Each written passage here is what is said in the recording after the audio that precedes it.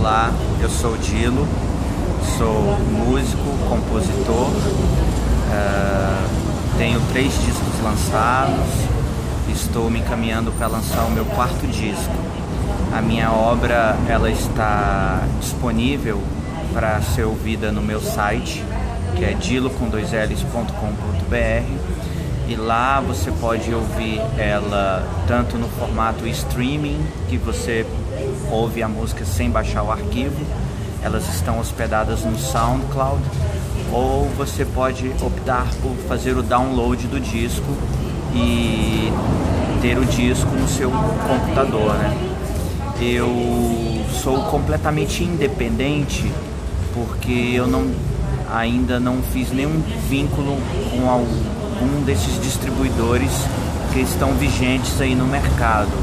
Eu ainda não descobri qual que é a vantagem de você estar tá agregado a um distribuidor digital, mas estou fazendo um estudo para me aproximar do que eu considerar viável para a distribuição do meu próximo disco, que é o quarto disco que eu estou finalizando e pretendo lançá-lo em julho.